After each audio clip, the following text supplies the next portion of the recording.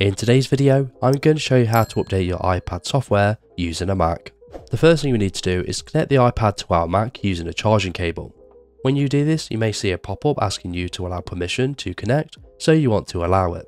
Once you've done this, you want to head over to your Finder, and then you'll see your iPad listed in the left side side menu. If you don't see this, you need to select Finder in the top system menu bar, and in the drop down menu you want to select Settings.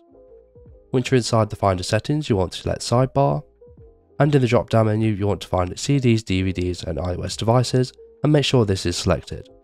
Now we can exit out of the Finder settings and go back to the iPad menu.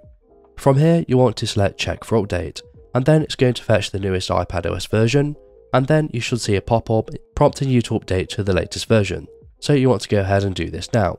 However, because my iPad is already updated to the latest version, it shows this message instead, so I'm going to select OK. While your iPad is updating to the latest version, you want to make sure it stays connected to your Mac.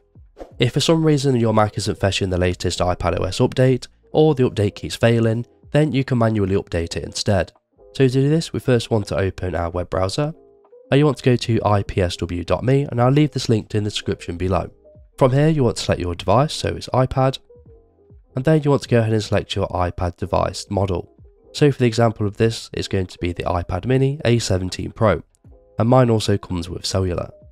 Now you want to find the latest version of iPadOS. So for the example of this video, it's iPadOS 26.1, so I'm going to select it.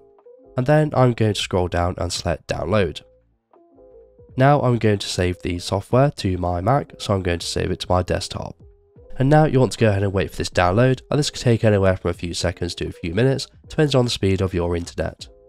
So now we've downloaded the iPad firmware, we want to go ahead and open our Finder, and go back to the iPad menu, and once we are in here, we want to press and hold the option key and we want to select check for update.